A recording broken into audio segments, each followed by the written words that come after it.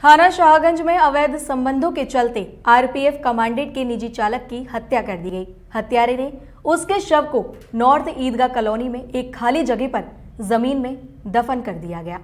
सोमवार को पुलिस ने आरोपित को हिरासत में लेने के बाद उसकी निशानदेही पर शव बरामद कर लिया। शाहगंज के नगला छुआ निवासी नीरज आरपीएफ के कमांडेंट का निजी चालक था, जो कि बीती 25 जून से लापता था। उसके लापता होने पर परिजनों ने उसे खोजने के सारे प्रयास किए। जब वह नहीं मिला तो गुमशुदगी दर्ज कराई गई। पुलिस को छानबीन के दौरान पता चला कि नीरज को आखिरी बार सदर के सोहल्ला निवासी विनोद के साथ देखा गया था। इस पर पुलिस ने विनोद को पकड़कर सख्ती से पूछताछ की। उसने नीरज की हत्या करके शव को दफनाने की जानकारी दी। मामले में एसएसपी मुनिराज ने बताया कि आरोपित की निशानदेही पर शव को ज़मीन खोदकर बरामद कर लिया गया है। आरोपित से विस्तृत पूछताछ की जा रही है। थाना सदर अंतर्गत एक पच्चीस तारीख की एक गुमशुदा लिखा था। एक नीरज कुमार एक व्यक्ति है, उसको गुमशुदा कर पुलिस का लिखा रिपोर्ट दर्ज हुआ था। उसके बाद पुलिस ने छानबीन किया इंट्रोगेशन वगैरह से चेक किया।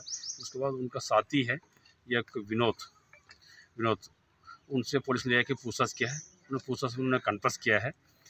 उन्हें उसका पे कंटोनमेंट में R P F R R P F का क्वार्टर्स का आसपास। रेलवे कॉलोनी है रेलवे कॉलोनी में उन्होंने यहाँ पर उसका दोनों एक साथ दारू पिया है। दारू पीने के बाद हथौड़ा से उनका मारा है मार के बगल में है गड्ढा खोद के उसके अंदर दबा दिया था। उसका ऊपर पुलिस आज यहाँ पे मौके पर आई थी और उसके ऊपर dead body S D M A C M के सामने हम लोग निकलवा रहे हैं और आगे पोस्टमार्टम कराएँगे और उनसे पूछताछ में ये निकल के आया। है विनोद का कहना ये है विनोद का पत्नी के साथ नीरज नीरज का नीरज कुमार का अवैध संबंध था और उसके बाद नीरज कुमार ने विनोद से बार बार ब्लैकमेल करता था कुछ वीडियो वगैरह लेके पैसा मांग रहा था।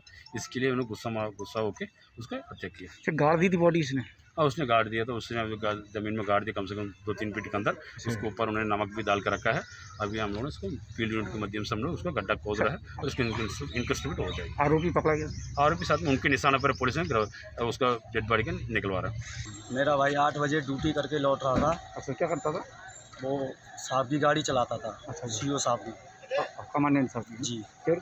मेरा भाई आठ बजे का बाद घर पे वापस नहीं पहुँचा आज चौथा दिन है। अच्छा हाँ जी। अच्छा कितने हत्या कर दी इसकी? है जी? हत्या कैसे हुई इसकी? हत्या सर मेरे को तो पता नहीं मैं तो ये सोच रहा था कि मेरा भाई किधर चला गया मेरे को अभी तक नहीं मालूम पड़ा लेकिन अब मालूम पड़ा है तो बॉडी मिली है डायरेक्ट मेरे को तो। अच्छा सूचना मिली है कि मर्डर हो चुका है। गाड़ दिया इसको? गाड़ दिया मार दिया। सब गया था ये घर से?